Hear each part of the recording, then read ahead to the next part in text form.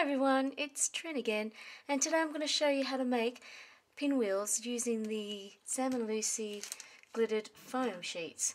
Uh, they're, they're about an A4 size, yeah. And today I'm going to be using the green today.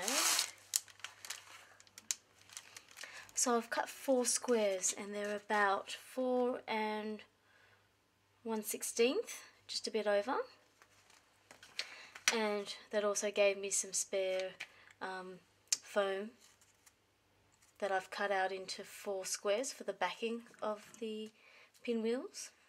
So to make the pinwheel you need to find the middle around there, just eyeball and cut mm, three quarters of the way and do that for each corner.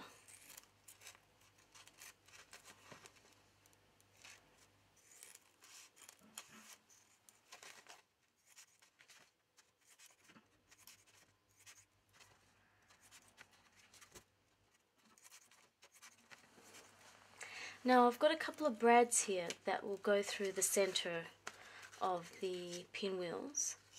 So I'm just going to make some holes. So just using the corner of these bits here.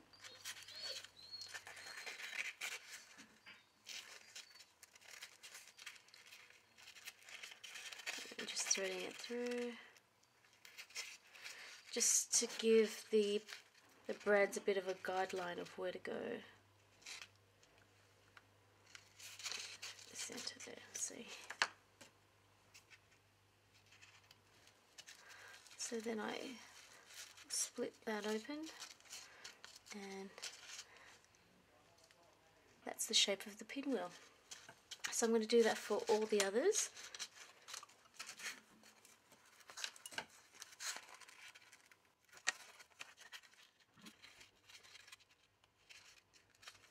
So now that they're done, I can attach them to these skewers. I've got four different uh, sizes there. So I'm just going to put some glue there.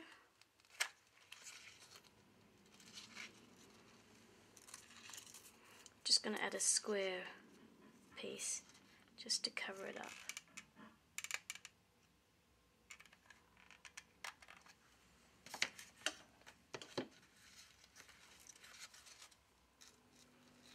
So I decorated this box with crepe paper and a ribbon around it. Inside there's just foam and I've just covered it up with more crepe paper. So I'm just going to stick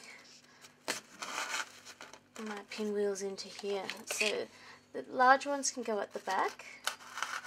Like that. Sorry, like that.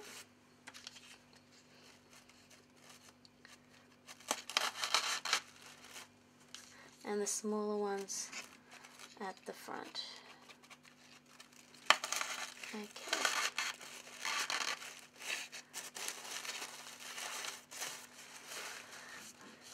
And there you have it. I'll just zoom out a bit. There you go. And I'll put up some pictures. I hope you enjoyed the tutorial and I'll see you soon. Bye! Música